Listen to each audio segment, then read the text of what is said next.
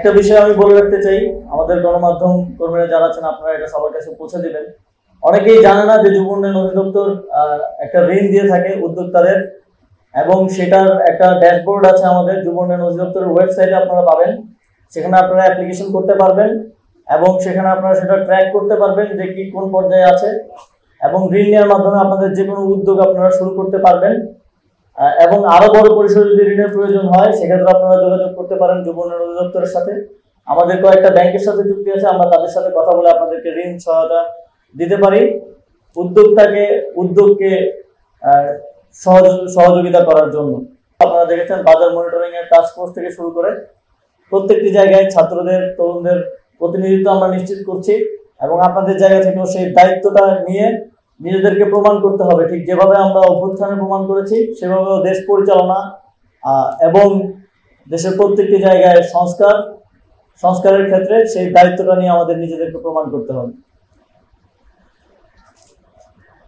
আমরা যুব উন্নয়ন অধিদপ্তরের যে প্রশিক্ষণ কর্মসূচি চলমান আছে, তা আরও আধুনিকায়নের মাধ্যমে যুগোপযোগী করে বর্তমান বিশ্বের সাথে যেন- তাল মিলিয়ে আমরা প্রতিযোগিতা করতে পারি। সেটা নিশ্চিত করার জন্য কাজ করব এরই অংশ হিসেবে। আপনারা জানেন আর্টিফিশিয়াল ইন্টেলিজেন্স এখন পৃথিবীকে লিড দিচ্ছে। তথ্য প্রযুক্তির জায়গা থেকে পৃথিবীর যে দেশগুলো এটাকে অ্যাডপ্ট করতে পেরেছে এবং তাদের তরুণদেরকে শেখাতে শেখাতে পেরেছে, তারাই কিন্তু এগিয়ে যাচ্ছে। এরই অংশ হিসেবে যুব উন্নয়ন অধিদপ্তর থেকে অতি দ্রুতই আমরা একটা আর্টিফিশিয়াল ইন্টেলিজেন্সের উপর সারা দেশে ট্রেনিং প্রজেক্ট চালু করব। আপনারা জানেন আমাদের প্রায় এক কোটি আশি লক্ষ বেকারের সংখ্যা। আমাদের এই বেকারের একটা বড় অংশই হচ্ছে তরুণ।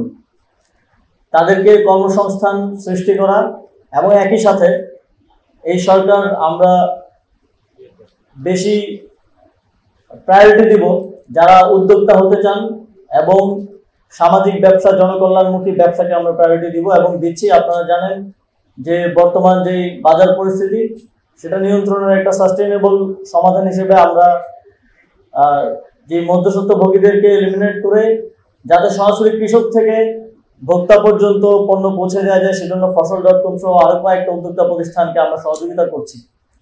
একই সাথে আপনাদের মধ্যেও আপনারা যারা উদ্যোক্তা আছেন এই ধরনের জনকল্যাণমুখী ব্যবসার কথা ভাবতে পারেন এবং সেক্ষেত্রে যুব উন্নয়ন অধিদপ্তরের ঋণ সহযোগিতা আছে এবং এর বাইরেও যদি কোনো ব্যাংক থেকে ঋণ ব্যবস্থা করে দিতে হয়, যে কোনো ধরনের সহযোগিতা সরকার করতে বদ্ধপরিকর এবং সরকারের সদিচ্ছা রয়েছে। যেটা আমাদের মাননীয় প্রধান উপদেষ্টা সবসময় বলে থাকেন যে, নতুন বাংলাদেশ বিনির্মাণ এবং সর্বক্ষেত্রে সংস্কারে আমাদের তারুণ্যের শক্তিকে কাজে লাগাতে হবে। আমাদের যে ডেমোগ্রাফিক ডিভিডেন্ট আছে সেটাকে যদি আমরা কাজে না লাগাতে পারি, তাহলে যে অভিষ্ট লক্ষ্যে আমরা পৌঁছাতে চাই, একটি উন্নত দেশে পরিণত করতে চাই বাংলাদেশকে, তা করা সম্ভব হবে না। এবং সেজন্য তরুণদেরকেও এগিয়ে আসতে হবে, নিজেদেরকে প্রশিক্ষিত করতে হবে, এবং বর্তমান তথ্য প্রযুক্তি নির্ভর বিশ্বের সাথে, বিশ্বের প্রতিযোগিতায় এগিয়ে থাকতে কর্মমুখী হতে হবে। সর্বোপরি আজকের যে যুব মেলা, আমি জাতীয় যুব দিবস উপলক্ষে সাত দিন ব্যাপী যে যুব মেলা, সেই যুব মেলার শুভ উদ্বোধন ঘোষণা করছি। এবং এই যুব মেলার সকল কর্মসূচির সাথে আপনাদের স্বতঃস্ফূর্ত অংশগ্রহণ প্রত্যাশা করছি। এবং আমাদের এই সকল কার্যক্রমে কিন্তু যুবকদের, তরুণদের জন্য যেহেতু বাংলা একাডেমিতে হচ্ছে, ঢাকা বিশ্ববিদ্যালয়ের মধ্যে বাংলা একাডেমি। তো ঢাকা বিশ্ববিদ্যালয়ের ছাত্রদেরকেও আহ্বান করব আমাদের এই কর্মসূচিগুলোর সাথে যুক্ত হন।